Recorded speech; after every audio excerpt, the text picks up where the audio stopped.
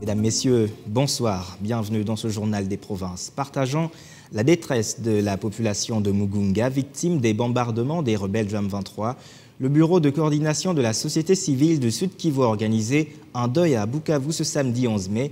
Les habitants appellent à cet effet le gouvernement à prendre des mesures idoines pour sécuriser ses compatriotes. Néné Bintou et dans ses propos recueillis par Jano Kalinga solidariser avec nos collègues de la société civile du Nord Kivu qui nous ont, qui nous ont dit qu'on va enterrer aujourd'hui les, les, victimes de la guerre que nous a imposé le Rwanda à travers les M23.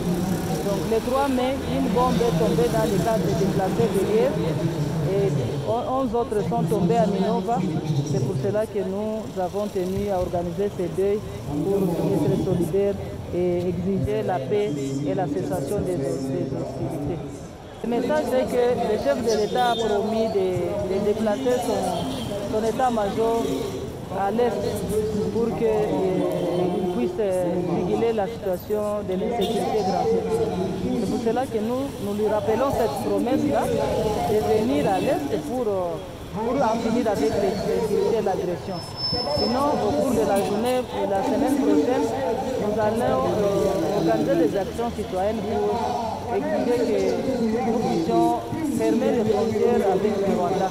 Parce que c'est le Rwanda qui continue à nous agresser. Mais aussi, notre président doit tenir compte que la situation est très, grave. Et on ne cesse de compter des morts, trop nous voulons la paix.